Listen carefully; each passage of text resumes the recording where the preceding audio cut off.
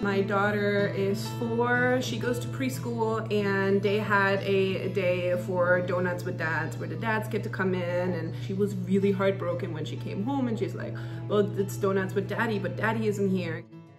My husband is in the military. Last year, we were in Oklahoma and he got the news that he has to go to Korea for a whole year and we can't come.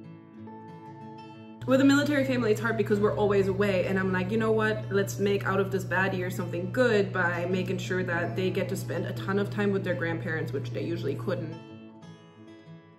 I talked to them and he's like, of course I'll take her. The uh, occasion of her not having her dad, that kind of put an emphasis on, okay, well, we'll make this special. You know, it, it, it was special for her. Making the video, I didn't even realize she was doing it.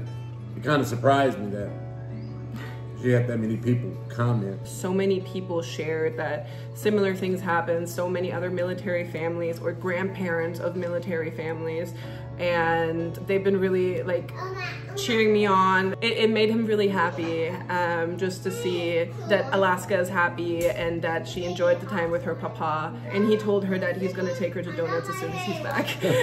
Being deployed does take a village and sometimes the village is small, sometimes it's larger.